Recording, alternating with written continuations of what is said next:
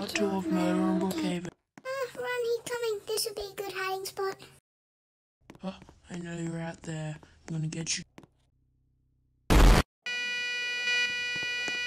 Thought that was the end? No. Life for part three.